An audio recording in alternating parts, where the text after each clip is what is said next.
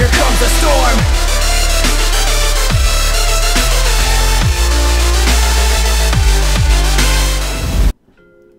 What's up, you guys? It's D Machine, and I'm bringing you a video today about stat priorities with Retribution Paladins. Uh, patch 5.4.7 is the current patch. Uh, reason why I'm bringing you this video is because there's a lot of controversy, a lot of confusion, and mainly to do because Vanguards has reforged his Paladin, and I haven't reforged mine, and people are asking me why I haven't. And uh, I'm going to tell you here right now. So Vanguard, so first to understand why Vanguards does what he does, you first need to understand the stat, what the stats do for us Ret Paladins to begin with.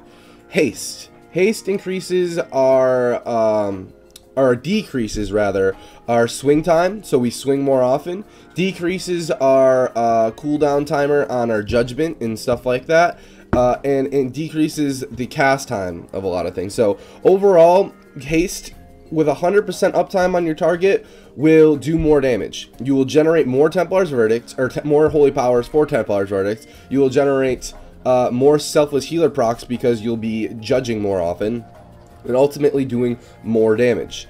Uh, critical Strike, you guys know what Critical Strike does. Increases your damage every single time. It increases your chances to crit, which increases your damage. Increases your chances to off-heal, which increases your off-healing by 300%. It's kind of a big deal. Crit will always be our secondary, sometimes even our primary um, as long as that never changes.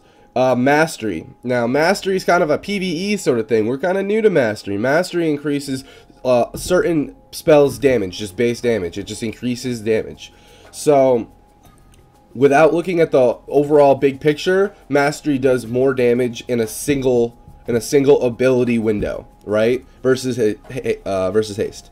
So Vanguard right now, with the amount of warlocks that are out there and the amount of like different CC classes, and you you guys know how much control there is out there, and you guys know how vulnerable Ret Paladins are.